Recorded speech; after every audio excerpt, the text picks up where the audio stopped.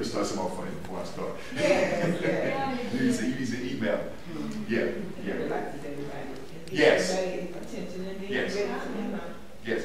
Because you you said that, that you said you said the word relax. I, I want to connect that. Because sometimes people come to church, they're not relaxed.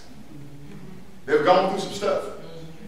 And they need something funny to relax and, or, or, or to uh, relieve the, the, the tension they've been going through all week.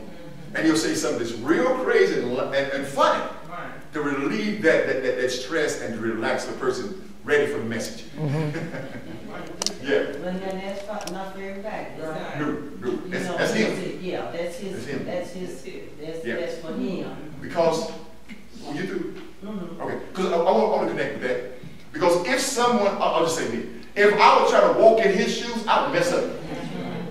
I would jack stuff up. And then God would get me and say, that ain't your ministry. That ain't what I called you to do. Yeah. So then, God would tell me, walk in what I tell you to walk in. Stay, hello, stay in your lane. That's right. That's, that's Joel Osteen's lane. That's Joel's old lane. Raymond Jr., stay in your lane.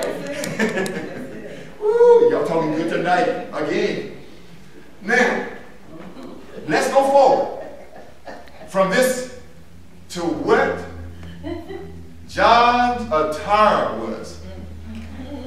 Oh, y'all see, we already know. Oh, on. I need, before I even go further, I forgot about you. You good? You good? You sure? Yeah, I got, I got Carol. You good?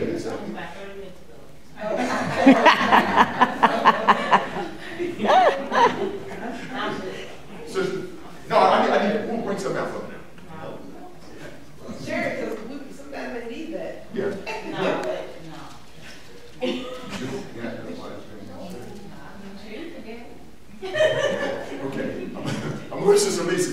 Oh, I was just about John the Baptist being for repentance, that you always have to repent before you accept Jesus. So, just the way he was a forerunner is a picture of this how you come to Christ. Okay. But Okay. that was pretty simple. Now, let's get in John's attire. Let's read it first. I, I want to say something. I want to say something. Okay, let's go to uh, Matthew chapter 3,